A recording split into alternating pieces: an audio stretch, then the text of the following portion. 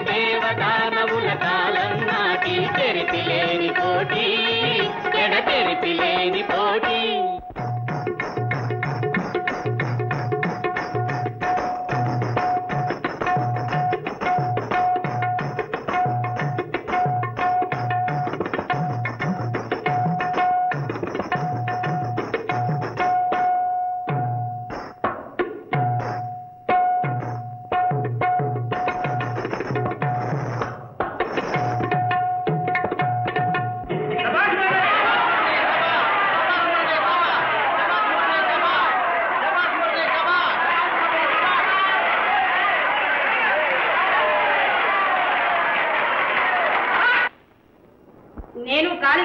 ఆడాను గాని నా సర్వీస్లో ఎప్పుడూ ఇలా జరగలేదు.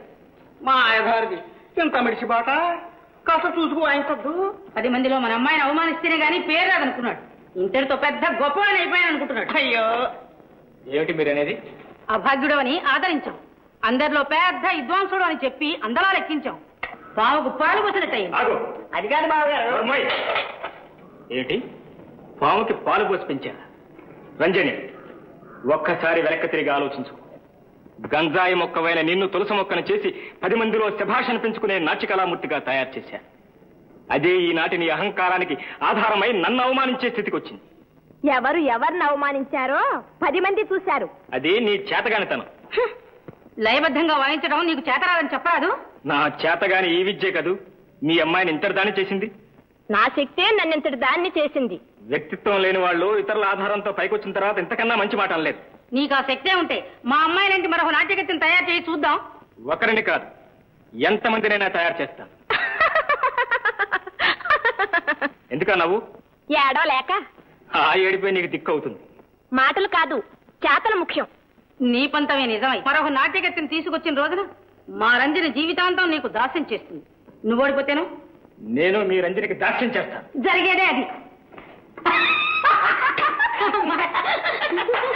నా బంగారు కొండ.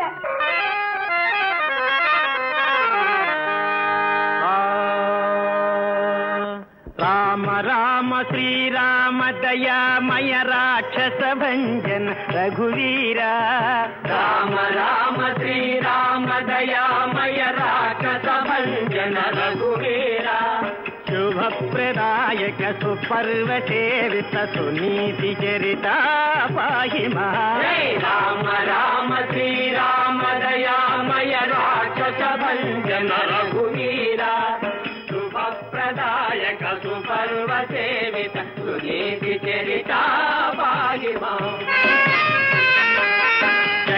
చక్రధారి మురవైరి జనార్దన సారసలోచన జగదీశ. చక్రధారి మురవైరి జనార్దన సారసలోచన జగదీశ.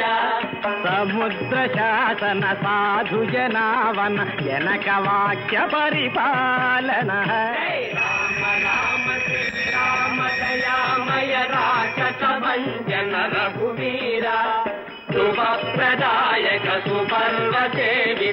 సేవిత సునీతి నీలమేఘ సమదేహ నిరంజన నిర్మల జీవన నిఖిలేశ. నీలమేఘ సమదేహ నిరంజన నిర్మల జీవన నిఖిలేశ. గజేంద్ర వాహన కరీంద్ర మోక్షణ కవీంద్ర వినుత మహా రామ రామ శ్రీరామ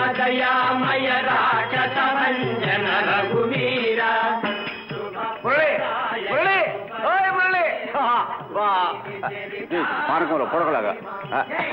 కట్టకాలానికి వచ్చావు? ఇంతకు తమ పేరు? అంతవరకు వచ్చిందన్న మాట. మన పేరు ఎందుకు లేదు? వాణి.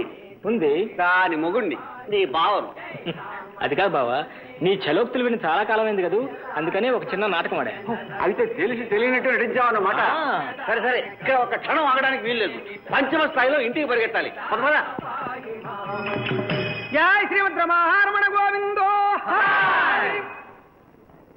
తుంబురుడు ఎందుకు? మరి ఇక్కడ భజన మాట? అక్కడ నాకు జరిగే భజన? అనగా వెంటనే మా మురళిని ఇంటికి తీసుకోకపోతే మా అత్తగారు మా ఆవిడ నాకు చేస్తారు భజన. ఏం మురళి? అవునవును పంచమ స్థాయిలో. కాదు కాదు సప్తమ స్థాయిలో. పద పద.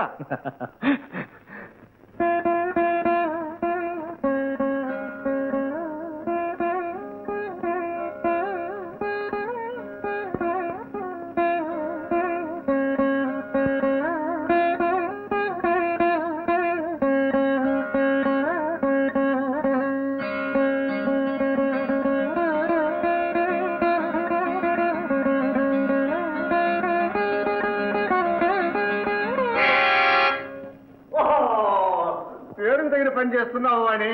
అనగా వాణి వీణా పాణి అయిందని ఈ భక్తుని ఓవాచ. ఈ భక్తులకు భజన మధ్యలోని భోజనం జ్ఞాపకం వచ్చినట్టుంది? ఆ, నువ్వు అలా అడుగుతావని నాకు తెలుసు. దానికి ఎలా జవాబు చెప్పాలో కూడా నాకు తెలుసు. అనగా నేను చెప్పను నేను చెప్పను అత్తగారు! అత్తగారు!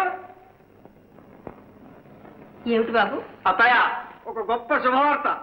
చెబితే నాకు ఏ బహుమానం ఇస్తారో ముందుగా మీరు చెప్పాలి. ఇంట్లో ఉండనిస్తారు. ఆహా ఇల్లనక ఉన్నాననే కానీ హేళనా? ఆ అమ్మాయి మాటలకి ఏం లేవు బాబు. ఆ శుభవార్త ఏమిటో చెప్పు. చెప్పనా? చెప్పనా? చెప్పమంటారా? చెప్పు బాబు. మీ సుపుత్రుడు మురళి. మురళి. వచ్చానమ్మా. అమ్మా. అమ్మా.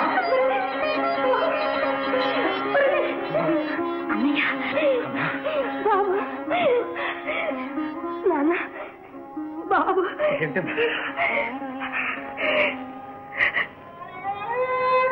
నాన్న.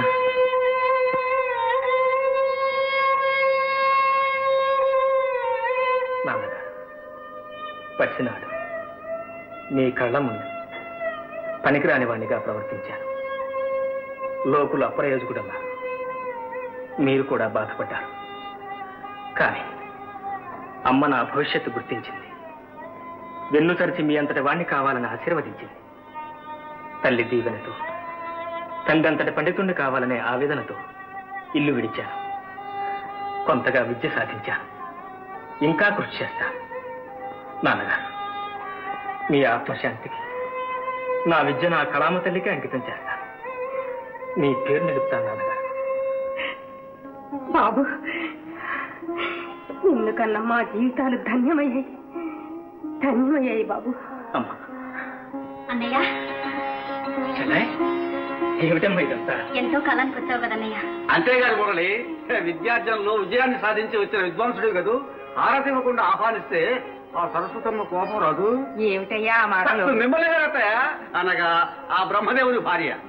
వాణికి అనకూడదా బాబా సరేలే. మీ చెల్లెలు వాడి తనకనుకుని నా మీద తగ్గుకొస్తే చాలా ఊరుకోండి.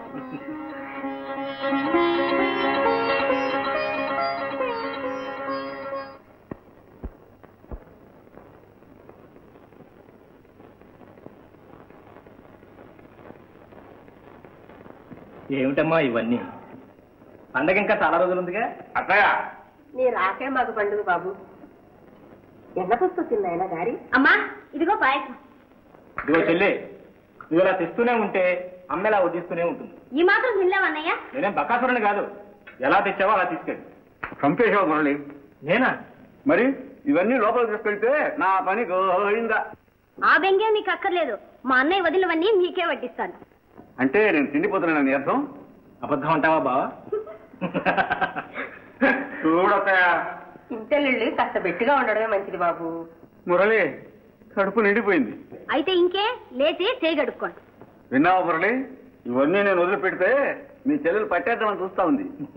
బావా ఒట్టి తిండిలోనేనా లేక హార్మోనియం వాయించడంలో కూడా పండితులు అయ్యావా? ఏమిటి అనగా వీరు ఒట్టి తిండిలోనే కదన్నయ్య దిట్ట. ఈ చుట్టుపట్ల ఏ విధి నాటకం జరిగినా హార్మోనియంతో పాటు ప్రత్యక్షం కావాల్సిందే. వీరు లేకపోతే ఆ నాటకమే ఆగిపోతుంది. అబ్బా అంటే నేను ఒట్టి నాటకాల వాడిని చెప్పి నా పరువు తీసిందని అర్థం.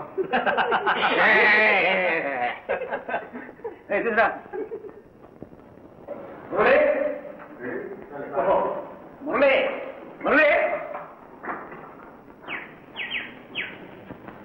మురళి.